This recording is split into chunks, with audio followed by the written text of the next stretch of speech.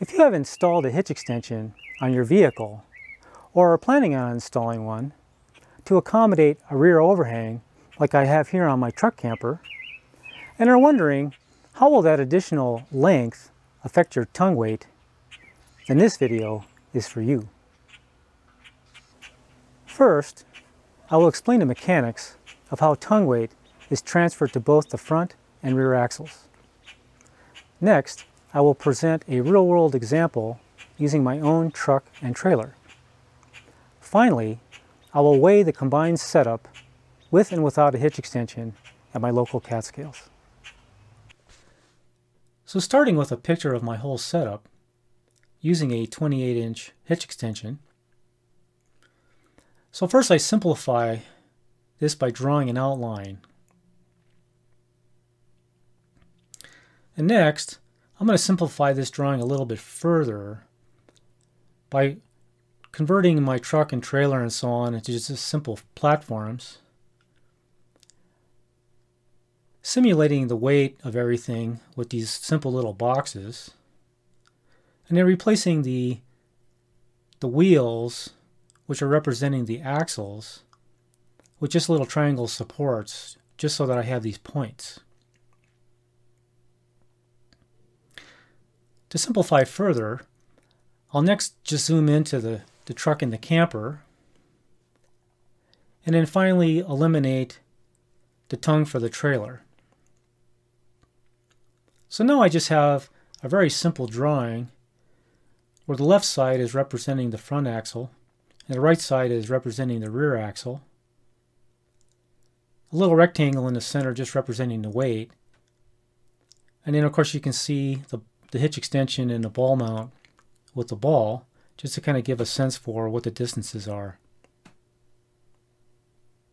Next, I'll represent what the force down on the front and rear axles are with some arrows. And just for simplicity and for purpose of illustration, I'll make those arrows represent the force and I'll make them the same. Now if we apply tongue weight to the ball, as that weight gets applied and is increased, the weight on the rear axle will actually increase, or the force down. And at the same time, the force on the front axle will actually re reduce. So now we need to work out what the proportions are between the tongue weight that's being applied to the ball and how it affects the additional weight on the rear axle and also how it lightens up the force on the front axle. First, I'll add some dimensions. The distance between the axles is just the wheelbase, which I'll represent as WB. I'll label the distance from the rear axle to the ball as TL for tongue length, which includes the hitch extension, HE, and the length of the ball mount, BM.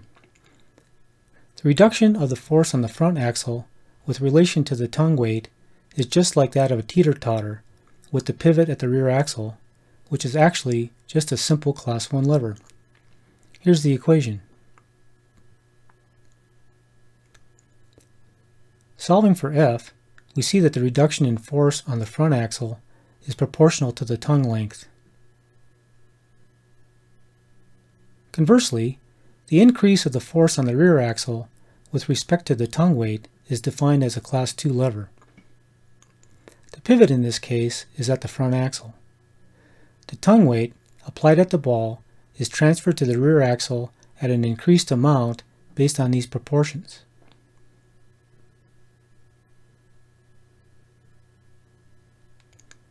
Solving for r, we see that r is greater than the tongue weight and increases as the tongue length increases.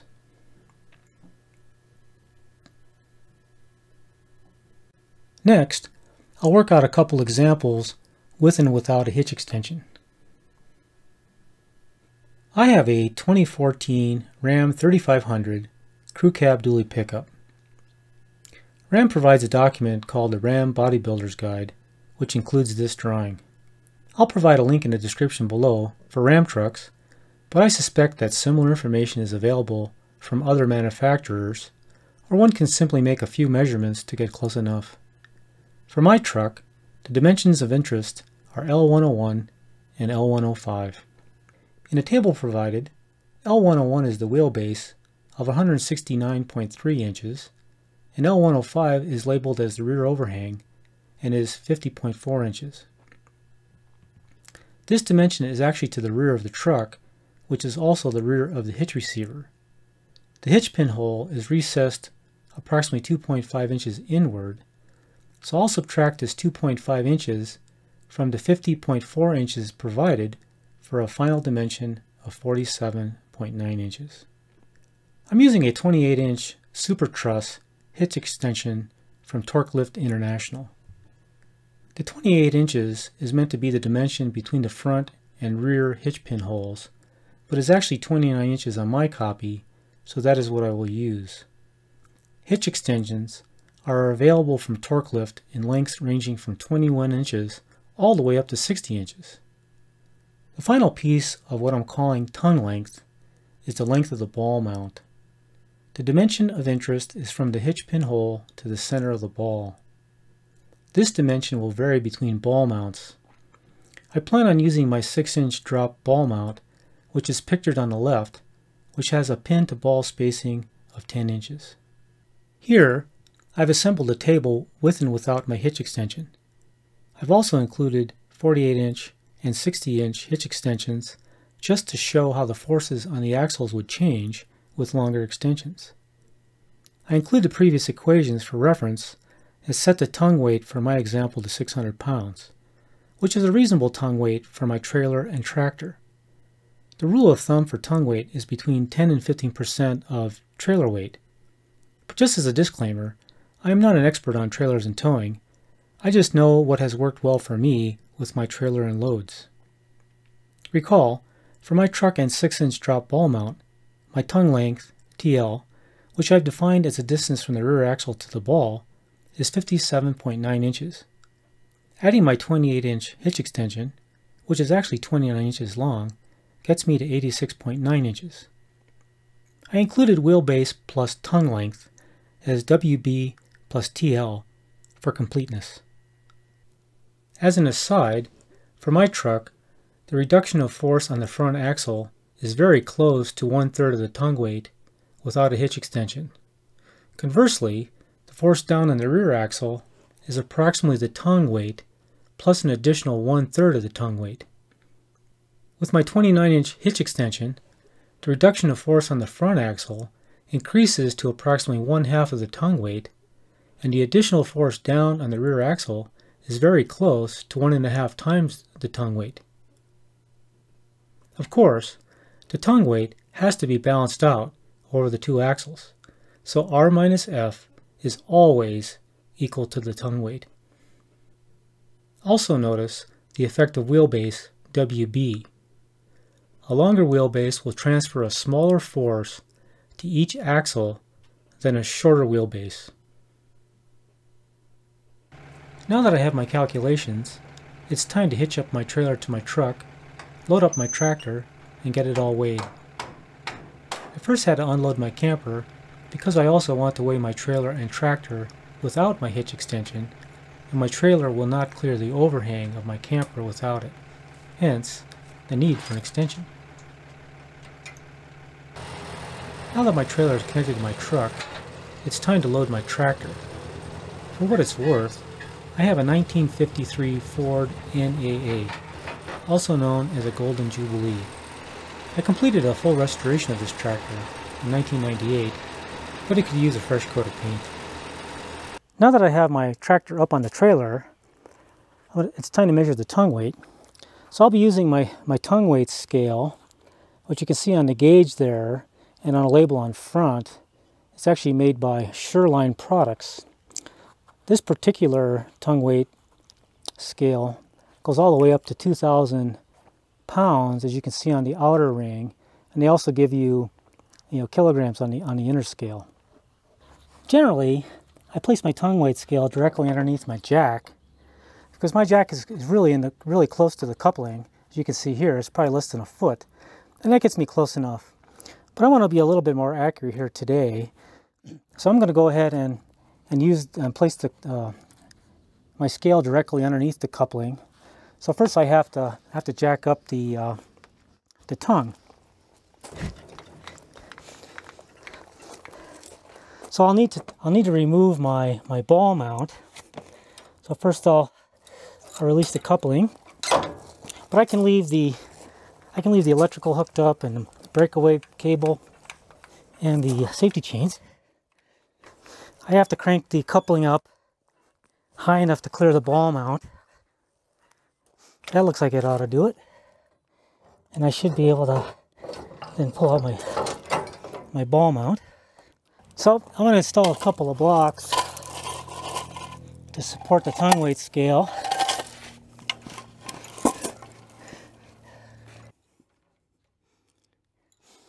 And then I, will install this this little pin that's also included with the tongue weight scale for use with the coupling. And then just to make it clean, I'll close the, I'll go ahead and just close it.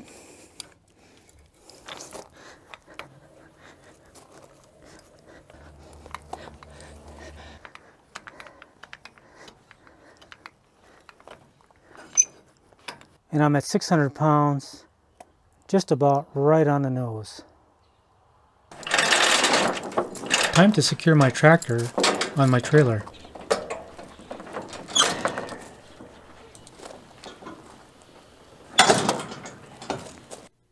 Now that I'm all loaded up, it's time to drive to my local scales. CAT scales, or Certified Automated Truck Scales, are available mainly for professional truck drivers, but anyone can weigh their personal vehicles as well. All the ones I've used to date are provided by gas stations. I generally go inside first to let the operator know I'm there as I sometimes have trouble communicating with them over the intercom provided. There are separate scales for each axle, or pair of axles, so you need to make sure your front, rear, and trailer axles are on their own scales prior to calling the operator. Once on the scale, you simply press the call button and wait for the operator to tell you to pull forward. Yes sir, first weigh. My first weigh? So please move your vehicle and come inside for a seat. Very good, thank you. After exiting the scales, you pay your fee, which was $13 this time, and provide the operator with any information that you would like to include on your certificate. Here's my results from my truck, trailer, and tractor without my hitch extension installed. Next, I'll install my hitch extension and reweigh. First, I need to remove my ball mount. I insert one of my pins to keep the 2.5 inch to 2 inch sleeve from getting pushed into the receiver. Once I get the extension started into the receiver, I remove the pin and use the non-tapered end to hold the sleeve in place while I slide the receiver home. Then I insert both pins and clevises.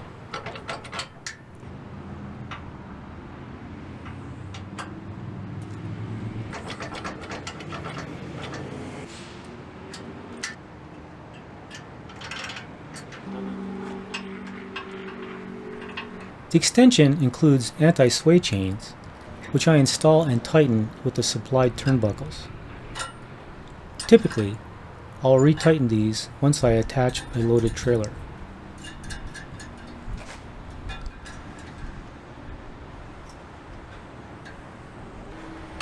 I plug in the wiring extension and insert the ball mount.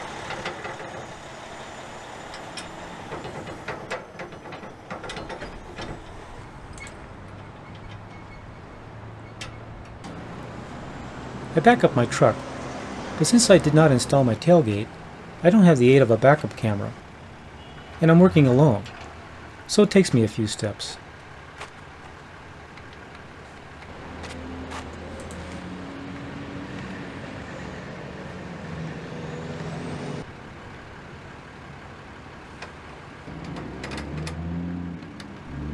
All hitched up and ready to go. My setup looks pretty funny without the camper. Time to reweigh. I learned that I could reweigh for much less cost, $3.50 in this case, as long as I did so within 24 hours. Here's the results with my hitch extension installed. Finally, I reweigh again, but this time with only my truck. Here's the results. I've tabulated my final results. I've listed the weight of the individual axles along with the gross weight on the left side. I listed each of the three ways, with my truck by itself and then with my trailer and tractor, first without my hitch extension and then with my extension. I calculate and include the net weights when weighing the trailer by subtracting the weight of the truck. Finally, I calculate the change that results from adding my hitch extension. The net decrease on the front axle without the hitch extension is just what I had predicted, but the increase on the rear axle is higher than I expected. That said, the resolution of the scale seems to be 20 pounds based on my experiences with using various scales. So a 20 or 40 pound discrepancy could be a result of this rounding. Note also, the gross weights are the same with and without my extension installed. Overall, I believe the results match fairly closely to my expectations. If you find this video useful at all, please give me a like below and comment either way. Consider subscribing to my channel for more videos like this. And if you do, you'll get to see me in the next video.